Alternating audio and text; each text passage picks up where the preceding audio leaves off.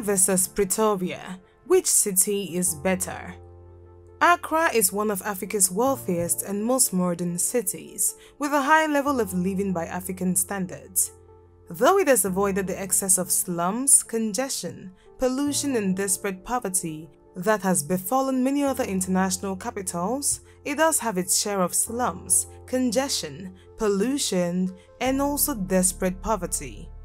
As for Pretoria, despite being advanced and modern, some Pretoria neighborhoods lack basic essentials like power and drinking water. The government's incapacity to combat corruption magnifies the problem of an already overburdened region. So, which city is good enough to come first between Accra and Pretoria? Well, stay tuned as we compare these cities based on their geography, infrastructure, cost of living and tourism to find out which one is better. Hello Displore and welcome to yet another interesting video on this channel. Before we begin our comparison, if you're new here don't forget to subscribe, click on the notification bell and stick till the end to find out which city comes first. Geography Accra is Ghana's capital, largest city, and administrative communications and economic center. The city, which is located on the Gulf of Guinea near the Atlantic Ocean, is built partially on an 8 to 12 meter high cliff and expands north across the Accra Plains.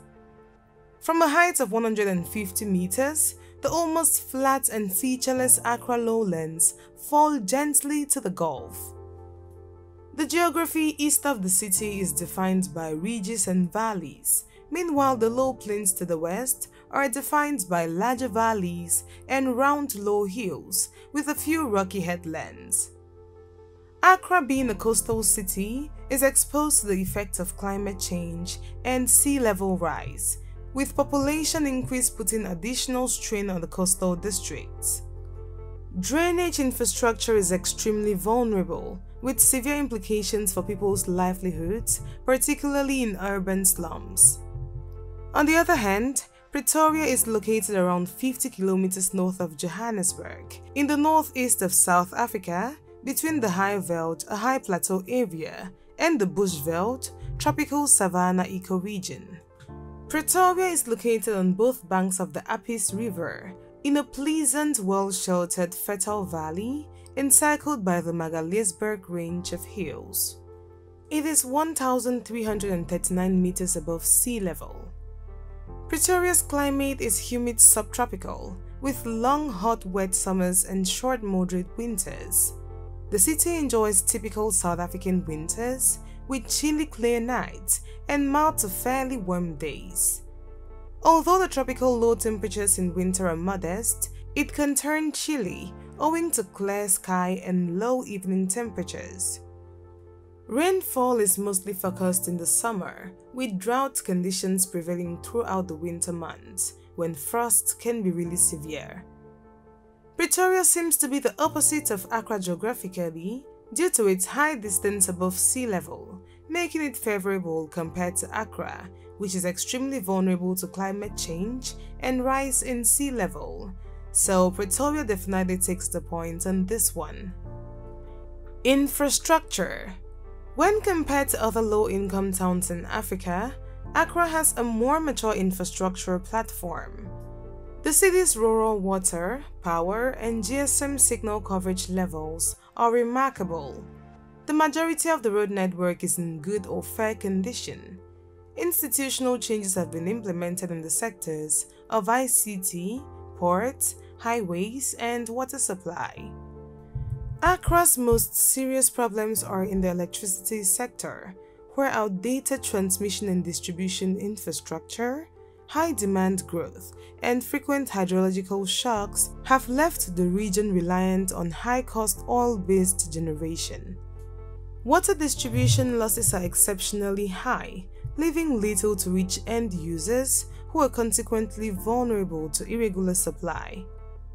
On the side of Pretoria, it has experienced a wide range of cultural influences throughout the years, which is reflected in the city's architectural styles. It spans from 19th century Dutch, German, and British colonial architecture to modern postmodern and Art Deco architecture styles, all with a distinct South African style. Despite the presence of numerous corporate offices, local companies, stores and government agencies throughout Pretoria's wide suburbs, the city's central business district remains the traditional center of government and trade. Many banks, businesses, huge enterprises, stores, shopping malls and other businesses can be found in the city center, which is dominated by many large buildings, the largest of which is Poynton's building. Pretoria is home to the South African National Zoological Gardens, as well as the Pretoria National Botanical Garden, and there are also a few smaller parks and gardens located throughout the area. Pretoria also boasts of many highway roads, high-speed railway train stations, and various bus companies. Pretoria just has a lot to offer when it comes to infrastructure, and the sad truth is, Accra is no match, leaving Pretoria to still take the lead on this one. Cost of living Accra, Ghana's capital city, was named 87th most expensive expat destination out of 209 cities. Rent is costly in Ghana and it will take up a considerable chunk of an expat's budget, particularly in Accra.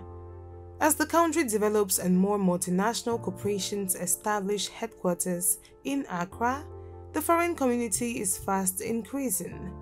The demand for housing is enormous, yet there is a scarcity of high-quality safe homes for foreigners. In Ghana, most types of public transportation, including trains, buses, and taxis, are unpredictable and unreliable.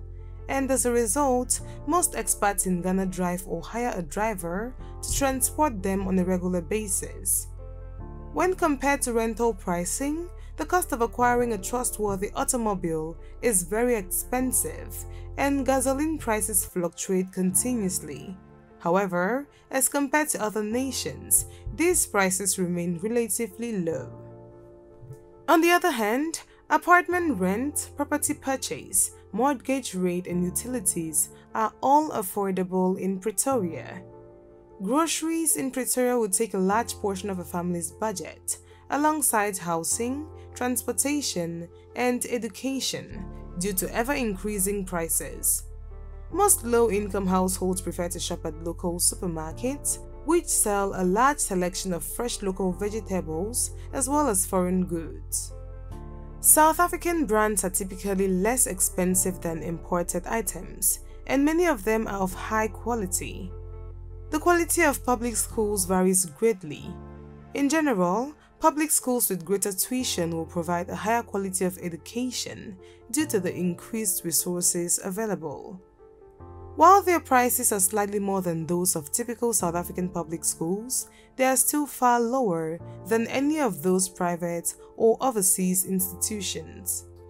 According to statistics, Pretoria is 14% more expensive than Accra, making Accra more affordable and preferable for most African families. Accra definitely takes the point on this one. Tourism Accra is a bustling contemporary metropolis where the streets smell of wonderful delicacies and the beach await to refresh you. There's a bustling local cultural scene here, with everything from traditional song and dance to modern bars playing the newest live music. Traditional crafts as well as cutting-edge current trends can be studied, the city's Dutch, British and Danish influences merge with its West African heritage to produce an unforgettable experience. Some people even say Accra's street cuisine is numerous, and I quote, and no long vehicle ride is complete for me unless I stop for kelewele, which is spiced and chopped fried plantain. Accra is never short of music, from passing automobiles to clubs and bars. The mix includes Afrobeat, highlife, reggae, and Western popular music. Live music in particular draws large crowds throughout the week in Accra. Ghana is a country rich in arts and culture, and Accra is just a small part of what the country has to offer. However, being the capital, it has a visual brightness that transcends both official and casual environments. There is much for the eye and intellect to feast on, from hand-painted art to traditional paintings and woodwork. The Art Center is an excellent one-stop shop for gifts and crafts. As for Pretoria, the city has several tourist attractions, including ancient buildings, monuments and museums, as well as gorgeous botanical gardens and wildlife reserves, some of which offer superb game viewing chances within a short drive from the city center.